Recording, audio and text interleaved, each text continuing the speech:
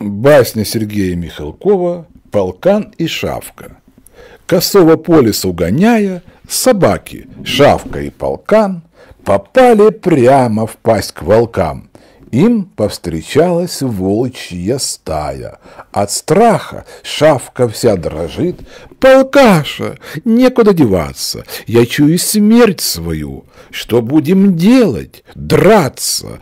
Полкан в ответ ей говорит – я на себя возьму того, что покрупнее, а ты бери того, что рядом с ним. И, до врага достав прыжком одним, вцепился храбрый пес зубами в волчью шею и на земь серого свалил. Но тут же сам растерзан был. Что думать шавки? Очередь за нею — Тут шавка взвизгнула и в ноги бух волкам. «Голубчики мои, не погубите, сродни ведь прихожусь я вам. Вы на уши мои, на хвост мой посмотрите, а чем не волчья шерсть на мне?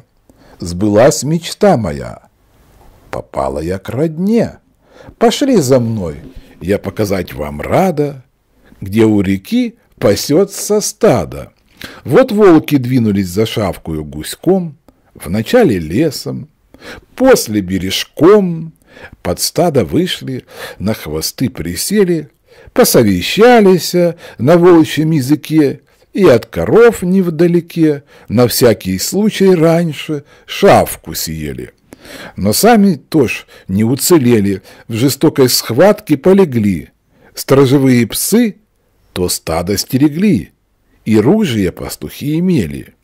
Сей басне не нужна мораль. Мне жаль полкана, шавки мне не жаль.